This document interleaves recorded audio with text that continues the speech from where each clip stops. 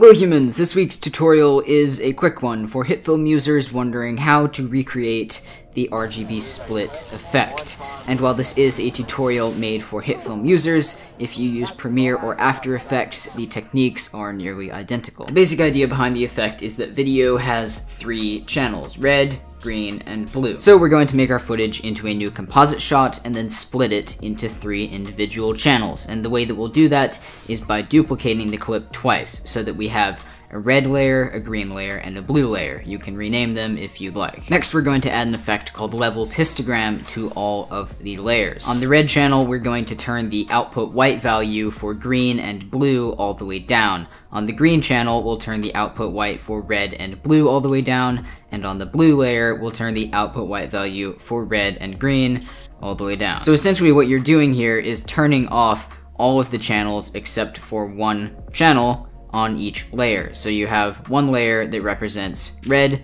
one for green, and one for blue. But as you can see, it's just displaying a very bright red, green, or blue version of the image that you started with. So what you need to do to make them stack up is select all of the layers, right click them, go into the blend mode properties, and select add. Now comes the fun part where you get to experiment a bit. You can try moving around or changing the individual layers. By doing this you can create a ton of really cool glitchy effects. The most popular one is this red and cyan 3D glasses type effect that you'll see in videos from people like Andreas Hem, Sam Kolder. And the way that you create that effect is by selecting the red layer and just scaling it up, and then you get this really cool effect around the edges. Now one extra step that I highly, highly recommend here is saving presets for the effect. To do this, simply right-click the Levels Histogram effect and select Create Preset, and then you can save that exact effect into your effects panel. What I've done is created one